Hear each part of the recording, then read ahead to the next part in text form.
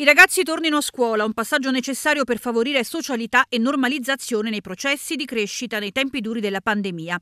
E l'appello del prefetto di Avellino Paola Spena, che invita i sindaci a collaborare per il ritorno delle lezioni in presenza. Ma ad Avellino per le superiori si continua in DAD, come in molti altri comuni, dove i sindaci scelgono la via della prudenza, temendo nuovi contagi tra i banchi anche la prossima settimana continueranno le lezioni in DAD per le scuole superiori, ho intenzione eh, di convocare una riunione anche con i rappresentanti degli istituti superiori perché credo che in questa fase, mai come in questa fase, sia fondamentale un confronto anche con i ragazzi per abituarli a prendere le decisioni eh, in un momento in cui si decide del loro presente e del loro futuro.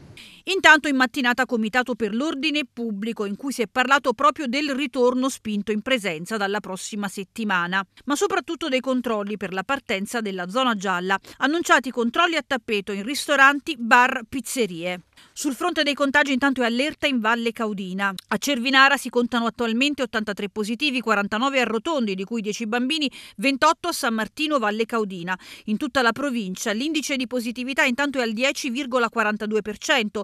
Ieri un altro decesso all'ospedale Frangipane, dove è morto Rodolfo Cardinale, 74 anni, dipendente regionale in pensione, ma soprattutto grande appassionato di calcio e talent scout.